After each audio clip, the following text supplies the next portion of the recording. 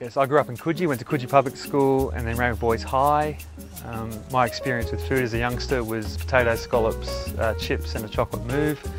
Um, things have come a long way in Australia and the eastern suburbs and things have gone a long way with me. My favourite food is carnitas soft tacos.